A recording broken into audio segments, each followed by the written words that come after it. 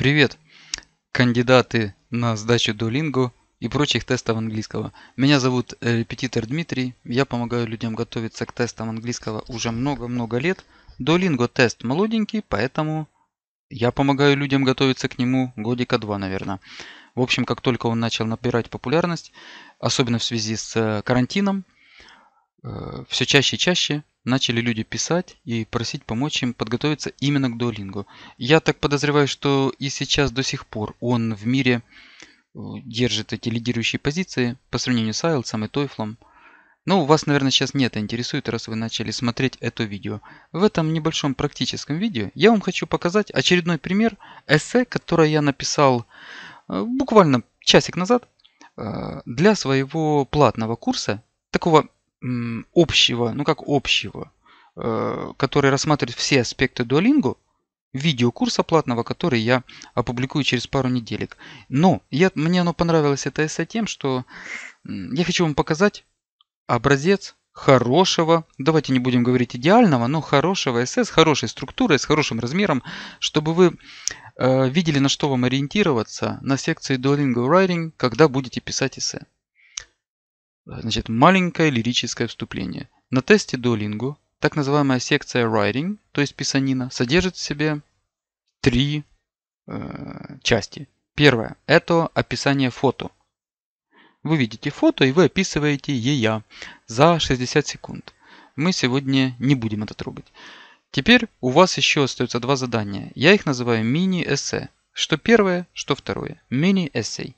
Хотя они формулируются – в самом Duolingo, самой администрации Duolingo, а также авторами сайтов, ресурсов по подготовке, как оно только не называется. И read and write, и какой-то там чего-то там writing interview. И, ну, суть, я вам обещаю, как бы, если вы будете сдавать, суть одна и та же. Вы читаете вопрос, вот смотрите, у нас вопросик тут, можно называть это топик, тема, можно назвать вопрос. Здесь знака вопроса это не стоит, но все равно вас что-то просят делать, вопрошают. Вот и вопрос, да?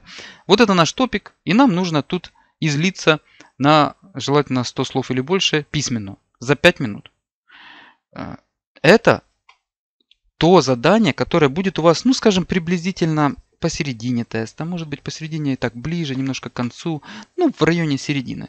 А потом под конец уже у вас будет writing interview, так называемое интервью, но смысл его будет тоже, ну, тот же самый. Вы увидите какой-то другой вопрос, обычно, скажем, более философский, что ли. Хотя это тоже вот философский, да. Опишите, in your opinion, which characteristic is more important to in a friend? Какая характеристика более всего важна в друге, да? Даже они формулируют не более всего, а просто more important, чтобы вас сбить с толку. Непонятно, это просто important, да? Или most important, или more important. Кстати, вот это все берется из реальных Duolingo, то есть э, они были такие вопросы. И, как поговаривают ученики, которые сдают не один раз, они иногда их встречают. То есть вот это вот вам реально может встретиться на Duolingo. Ну вот, что я вам еще хочу сказать. Э, в общем, суть двух ваших райтингов крупных одна и та же. За 5 минут вам нужно написать мини-эссе на заданную тему. Можно сказать, ответить на заданный вопрос, без разницы. Ну и вот, давайте посмотрим, что я тут, я без подготовки, спонтанно, с кучей обсуждений э, написал. Может быть, даже где-то сейчас ошибочку тут увидим, когда, знаете, свежим взглядом смотришь. Но я уверен, что за вот это мне поставили бы хороший балл. Кстати, за письмо на Duolingo обычно, за письмо и за спикинг ставится всегда почти, почти более низкий балл, чем за другие секции. То есть политика Duolingo э, в плане вашего production, то есть продуцирования речи, очень жесткая. У всех почти кандидатов, моих учеников, сколько бы мы ни готовились, когда они мне называют свои subscores, вот перед нашими уроками они сдали Duolingo, да, получили там 110, да, и вот они называют мне эти subscores, э, такие подбаллы по четырем основным навыкам, всегда за вот этот production балл у них самый низкий. То есть, может быть, человек получил 110 общий, а за продакшн 75. Бывает очень часто. Duolingo очень строго оценивает ваш продакшн. А это значит что? Это значит, что расстраиваться не надо по этому поводу. Просто э, ну, нужно подготовиться и постараться быть красивым в плане письма. Ну что, друзья, давайте посмотрим. Я такие маленькие вам guidelines, как всегда. А вдруг вы еще не видели других моих видео, то есть э, вы посмотрите сейчас 10 минуток это видео, и я вам обещаю, вы, за 10 минут вы больше напитаетесь духом вот этого, чем за 5 уроков с вашим любимым репетитором. Ну, скорее всего, конечно. Я балуюсь. Но... Итак, смотрите. Вот эта структура она универсальна для всего в нашей жизни райтингового или спикингового. То есть это называется универсальная какая-то гармоничная структура, в общем, природная, как ее только не назови. Что я имею в виду? А, любой процесс во Вселенной, э, по крайней мере в нашей земной материальной жизни, имеет три стадии. Это начало, расцвет и конец, то есть окончание. Да? Например, жизнь человека, да, детство, потом основные годы, там зрелость, ну и старость, ну и так далее, так далее. Кто доживает до старости. Машина, да, вы купили автомобиль, да, у вас начало пути, он шикарно ездит, летает, там порхает, не ломается, да, потом средние годы такие, когда, это если первый хозяин застанет, может уже второй, он еще прекрасен, но уже вот уже потертости, уже начинает что-то брыкаться, да, ну и наконец там какой-то хозяин номер 7 уже колупается с остатками автомобиля. Это его э, финальная часть жизни, и он, автомобиль потом, раньше или позже, отправляется отдыхать. Если мы внимательно с вами посмотрим, этот принцип, он проявляется везде. Что в биологических организмах, что в каких-то других процессах. Да? Естественно, что мудрые ораторы и писатели используют его э, в письме и в публичных выступлениях. Потому что оно гармонично с природными процессами Вселенной и, соответственно, производит на читателя наиболее благоприятное впечатление. Я надеюсь, вы меня услышали в данном аспекте. Да? И, соответственно, я могу сделать предположение, если я напишу именно так, то значит, за это мне поставят самый высокий балл. По крайней мере, за структуру. Я не говорю словарный запас, это другой вопрос. Да? Поэтому, смотрите, у нас есть вступление обязательно. У нас есть основная часть, давайте назовем ее тело, тельце, body, и у нас есть э, conclusion, в общем, заключение. Да, важный момент, так как на дуолингу у вас 5 минуточек, то может быть заключенница, часто люди не успевают писать. Ничего, ничего страшного, как говорится, все нормально. Э, вам, я не думаю, чтобы очень снизили балл, если вы вот здесь поразите проверяющих и алгоритм красотой своего английского, то если вы не, не успеете написать вот это, ничего, все нормально. Кстати, посмотрите, видите, вот тут 138 слов я написал. Стараемся писать около 100 слов или больше. Я всегда это ученикам говорю. Они начинают пищать, что я не могу там и 50 написать. Да, не можешь. Ну и не моги дальше. Будешь учиться не в зарубежном колледже, а в своем местном, мелкопоместном, э, великом, в общем, техникуме. Да? Поэтому э, свое не могу которое обычно чисто психологическое, это не лингвистическое, не могу, э, надо переделать в могу и хочу. Это отдельный разговор психологический, не буду сейчас вас э, грузить, умничать, но по моему опыту многолетнему, как я вам уже говорил, человек, во-первых, может все, во-вторых, уж такую чепухню, как родить пару идей насчет какого-то вопроса, но если он совсем не может, значит ему реально надо учиться не в колледже, а я уже сказал где. Поэтому все у вас получится, все вы можете. Просто подойдите к этому вопросу позитивно, с энтузиазмом и творчески. И все получится. Представляем всегда, я вот ученикам говорю, ну, вы беседуете с другом или со знакомым, ну, вот, э, предположим, в кафе. Может быть дома, ну, допустим, в кафе, да, вот в культурной обстановке, кофеек вы пьете, он или она вас что-то спросил. Такое философское. Вы чуть-чуть отвлеклись от каких-то инстаграмов, да, и вам захотелось поговорить на какую-то философскую тему. И он что-то спросил. Вот, например, ты как считаешь? А, вот, э, вот настоящий друг для тебя, какая у него такая черта, которая вот реально его будет возле тебя держать? Ну, вернее, тебя возле него. Да, да, вот что для тебя важно, да? Ну, неужели вы скажете, нет, ты знаешь, братан, прости, у меня никаких ни мыслей нет, ничего, иди в баню со своими глупыми вопросами, да? Вы же как разойдетесь, скорее всего, особенно если он приоткроет рот и будет с круглыми глазами вас слушать, то вас же не остановишь. Соответственно, почему-то на дуалингу люди не могут выдавить в себя какие-то две мысли. Вот это, повторюсь, это чисто психологическое, и это очень важно, поэтому я об этом так долго вам и это самое. Если вы досмотрели еще до этого момента, то э, честь вам и хвала. Такс. Значит, переходим теперь как я уже сказал, вступление, основная часть, заключение. Да? Это везде английский, казахский, антонанаривуйский, любой язык, неважно. Вы всегда, у вас должно быть вступление, основная часть, заключение. В критических случаях и в особых видах эссе бывает жертвуют вступлением, сразу как римляне, не, знаешь начать, начинай с главного, да, не знаешь, как начать, поехал, да, бывает, но у вас нет такой критической ситуации, и не надо ее создавать. Обязательно вступление. Во вступлении мы обязательно даем читателю понять нашу точку зрения. Это важнейший момент. Я вам сейчас, э, кстати, говорю такие как бы, ну не то что секреты, а ключи, которые просты, но которые они имеют такое огромное значение, что вы просто себе не представляете еще, если вы не сдавали вот этих тестов, то поэтому слушайте, пожалуйста, внимательно. Это стоит тысяч долларов, я вам серьезно говорю. Ну просто вот у меня сейчас такое настроение, хочется с вами поделиться э, чем-то таким ценным, да.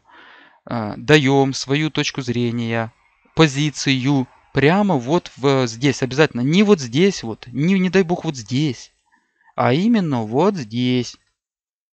Ну максимум э, вот здесь. То есть во вступлении обязательно. Тогда читателю просто понять, что вы имеете в виду. Он настроился, он уже ожидает от вас причины, его разум ожидает по вот этому великому закону композиции природы, о котором я вам упоминал, да, он ожидает, что тут пойдет речь. Если вы тут не... Вас спросили, например, «А, какие вам нравятся автомобили? Там седаны или эти... Э, о боже, как они там, кроссоверы, да? Вот, вас конкретно спросили. Не надо вот это, в принципе, я люблю и то, и то, но когда еду на кроссовере, то я вспоминаю про то, что мой седан неплох, но в других аспектах. Но вообще-то, если уж сравнивать, то, наверное, у кроссовера больше преимуществ. Хотя, как говорит мой друг, они все нивелируются. Понимаете, вот этот бред. Читатель читает, читает, читает, читает, его начинает это раздражать внутри. Типа, ну тебя же спросили как человека, ну давай, ну ты начал по-интеллигентному, хорошо, ты не хочешь резко, ну ты же скажи хоть, ну, чтобы я понял, да? Так вот, у нас здесь я вам рекомендую даже не очень интеллигентно, а вот сразу. Это очень важно. Дайте читателю понять свою точку зрения сразу. Потом будете философствовать как хотите. Так, это мы тоже уяснили, да? Смотрите. In your opinion, which characteristic is more important in a friend? Вот я сразу сказал. I truly believe that loyalty is the paramount feature of my hypothetical friend. Я реально считаю, что loyalty, вот это такое красивое слово, верность, это самая пупеннейшая черта моего гипотетического друга. Такие слова, как гипотетический, paramount я вставляю для украшения, для выпендрежа, чтобы мне повысили балл. И вы понимаете, да, что это писанина, как бы нам надо немножечко выпендриться, немножечко. То есть, чтобы не так смешно было, как говорится, как коровье седло, да? Или Жигулю там золотой спойлер. Но так, чтобы это было чтобы это было. Иначе э, вы не замахнетесь на более высокий балл, потому что вы не демонстрируете красоту своего словаря. Так, это мы с вами тоже уяснили, да? Дали свою точку зрения. Здесь еще одно или два предложения мы можем настроить читателя перед переходом к нашим аргументам. Мы его можем плавно к ним перевести а не сразу. Но можно и сразу, но можно перевести. Это как ваша интуиция, как ваш... Э, вы смотрите на таймер, да сколько у меня осталось там минут, что мне... Ну, это уже все по ситуации. То есть нельзя сказать, что если вы вот переходные такие предложения сделаете, вам кучу баллов поставят, а если не сделаете, то не поставят. Нет. Э, все бывает. Бывает и без вступления пишут сразу, и высоченный, высоченный балл. Э, ну, всякое бывает, но я вам такую самую общепринятую такую штучку говорю. Вот смотрите, я пишу, я расширяюсь, я поддерживаю и расширяюсь, углубляю читателя в свою вот эту позицию, что я про loyalty сказал, да? All other traits just lose their significance if you simply cannot trust your comrade. Так, comrade я хоть правильно написал? Ко...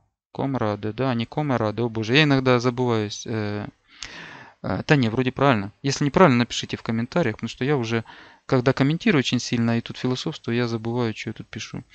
Все другие черты просто теряют свое вот это значение, да, если вы просто не можете доверять своему товарищу. Товарищ, естественно, я написал, чтобы не повторять э, friend. Кстати, важнейший аспект, да, вот тут in your opinion, да, не надо писать in my opinion. Вы понимаете, вы повторяете вот эти словечки, да, из этого из вопроса вам снизят балл. Потому что скажут, ты что нам тут повторяешь? Что, от себя не можешь ничего написать? Наша задача перефразировать, если получается. Если не получается категорически, уровня не хватает, тогда уже пишем как есть. И вот тут переходная последняя фраза, третья. Можете ее писать, может нет, такого типа. In this essay I'm going to provide two basic reasons to support my stance. Ну, чтобы не повторять opinion, я тут влепил stance. Я сейчас вам дам тут две основные причины, чтобы поддержать мое мнение, мою позицию. И поехали. Обязательно следующий абзац. Смотрите, я отделяю системе, читателю, алгоритму проще видеть, где у вас кости вашего скелета. То есть основные вот эти контейнеры. Firstly, the very concept of friendship is immediately associated with, with loyalty by me. Uh, ну тут я пока это все комментировал, то я забыл о том, что причин-то придумать надо две штучки, да? Ну ты придумал. What differentiates a common acquaintance from a true friend? Definitely it is the phenomenon of loyalty. Типа, что сама концепция дружбы у меня сразу ассоциируется с uh, loyalty, с верностью. Без нее нету дружбы. Что отличает там обычного знакомого от друга? Ну, ясно, что феномен, это чтобы не повторять feature или characteristic, phenomenon of loyalty. Secondly, во-вторых, the feeling of somebody being loyal to you causes the arousing friendship, at least with me. Здесь вполне возможно, я не, не, на, не на 100% идеально collocation построил arousing of friendship. Да ладно, пойдет. If I do not sense that the person is sincerely inclined to me, I will avoid closer relationship. Э, наверное, тут надо a поставить было. A close relationship. Ну да ладно. Э, если я чувствую, что человек не расположен ко мне, прям искренне, я буду избегать более близких взаимоотношений. Ну вот, я дал два аргумента. По идее, третий дается в тех э, э, тестах, где у нас там час на письмо, да, полчаса хотя бы, да. Но здесь у нас 5 минут, да вы еще пока с мыслями собрались, то ладно уже, обойдемся без третьего. И, наконец, заключение. Заключение, как я говорил, очень важно, но не критично, но важно. Опять по ситуации. Если видите, что еще минутка остается, надо что-то писнуть. Если вы видите, что вы отвлеклись, у вас 10 секунд, не надо начинать там as a conclusion, запятая, и ничего нету. Ну зачем ты начинаешь? Ты только портишь внешний вид. Uh, to top it all, ты взял от фонаря фразу, вы можете uh, so, thus, to conclude, to top it all, as a conclusion, in the conclusion, finally. Ну, final оно не идеально здесь, но можно и так далее, и так далее. To top it all, it is so magnificently pleasant to realize... Ох ты, елки, потерялась буковка A, батюшки. Это же я в платный курс, да, вот и без буковки A. Но я думаю, там люди простят меня, поймут, что я ее потерял. Палец отскочил. Is to realize that uh, you are bestowed from above with a true loyal partner who is going to assist you throughout life's fancies. Ну, здесь я специально загнул, чтобы выпендриться, как я вам всегда шучу говорю, да, и перефразировать вот это, мы еще раз повторяем свою основную мысль, только с другими словами. Не дай бог не теми же самыми. Тут уже, насколько вам позволяет словарный запас, ваши навыки, вы хвастаетесь, я вам еще раз говорю, весь ваш writing, вы хвастаетесь, но при этом красиво хвастаетесь. То есть гениально и просто не наворочено чрезмерно, потому что вы запутаете, вам снизит балл, потому что вас трудно понять. У вас должно быть одновременно шикарно, легко понять и одновременно красиво. За это ставится максимальный балл. По крайней мере, ну, э, те умозаключения, которые я могу сделать за э, сколько лет своей работы. Э, также помните, что единственного стандарта такого нету критического, что только так вы должны написать. Повторюсь, вы можете и бред написать, такой поток сознания получить 160. Но вы должны так это написать, чтобы вы, когда я читал это, я говорил, ну блин, ну реально американец образованный написал, да еще и талантливый. То есть невозможно отличить ваше письмо от письма образованного языконосителя. Большинство из вас так не может сделать и не сможет. Это нормально, потому что английский ваш не родной язык.